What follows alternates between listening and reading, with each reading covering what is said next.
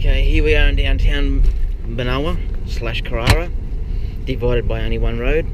And the situation is, she's on the boulevard. And guess what? There's three boulevards in this suburb. And in order to get to them, it's an absolute cluster.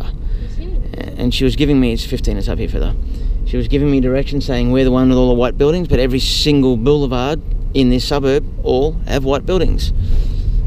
So now she's making it easier by saying I'm the one standing out in the street in the pajamas. We are now looking at the third boulevard. We have spent a good 30 minutes just trying to find this street, all within minutes of each other, all within like two kilometres of each other. Should be up here somewhere. That's her there in her PJs. Friggin' hell. It's an absolute pathetic setup. She can go inside now, she's embarrassing herself. Stopping here, are we?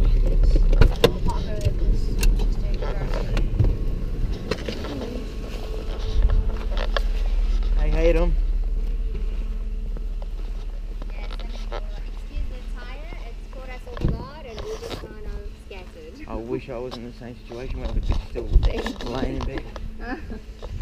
yeah, I quickly just took my little girl over to the grandparents' house and brought um, my dad and stuff over for backup.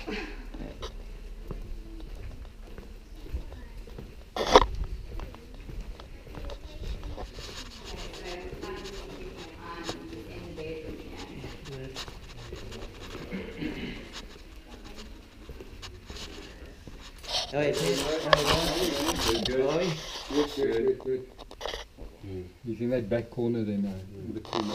I'm glad you guys have kept an eye on it. Yeah, everybody- that's why when we saw him, A lot of people disappear and hope that we'll find it, and these guys can get them into Yeah.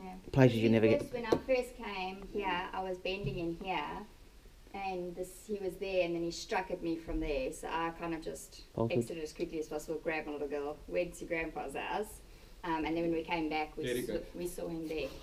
Oh my goodness! He just got him with the hands.